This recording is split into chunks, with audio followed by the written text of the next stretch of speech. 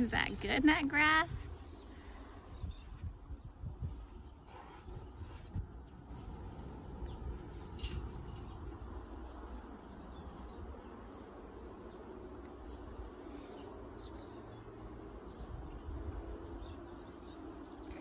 So Keep Me Grounded has a home back with his breeder, Stacy, in Kentucky. We are just evaluating him to see if he can make the trip and his quality of life that he's going to have once he gets back there.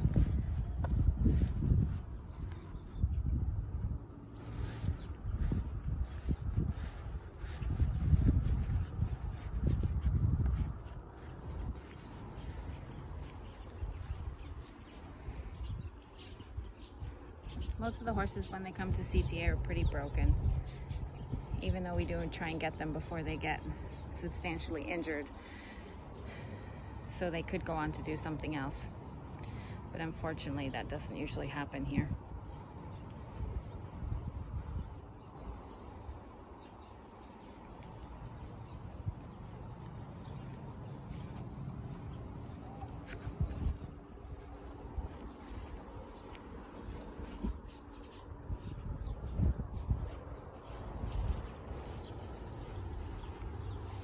Hey, buddy.